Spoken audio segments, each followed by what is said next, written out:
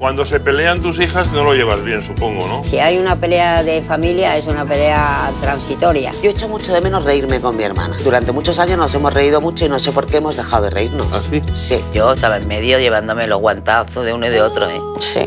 Yo he sufrido mucho, ¿eh? Y tú lo sabes. También, sí, he sufrido mucho, pero es que también nos gusta sufrir mucho, ¿eh? Mi casa es la tuya. El sábado a las 10 en Telecinco.